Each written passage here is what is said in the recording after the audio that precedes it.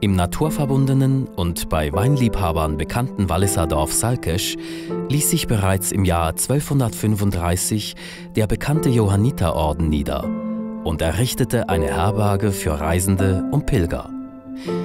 In der langen Tradition der Qualitätsweine reiht sich auch die Kellerei Gave Saint-Philippe mit der Familie Constantin bereits in der vierten Generation ein. Aus zehn verschiedenen Traubensorten werden so 17 verschiedene Weintypen von höchster Qualität kultiviert. Die kellereigenen Rebparzellen erstrecken sich über eine Gesamtfläche von 5 Hektaren auf dem fruchtbaren Terroir von Salkisch.